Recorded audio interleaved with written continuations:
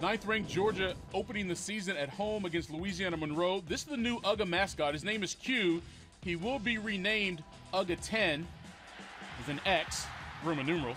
That is Nick Chubb. And that is a 7 0 Georgia lead. Later in the first quarter, Grayson Lambert to Jeb Blazevich. 15 yards on that touchdown, one of two touchdown passes for Lambert. Keith Marshall getting in on the touchdown party. Georgia's up 21 zip. And then Chubb with another score. He had 16 carries on the day for 120 yards. This one puts Georgia up 28 0 midway through the second quarter. Now, less than three minutes to go in the half, Brice Ramsey sets up the screen. Sony Michel, and he's gone.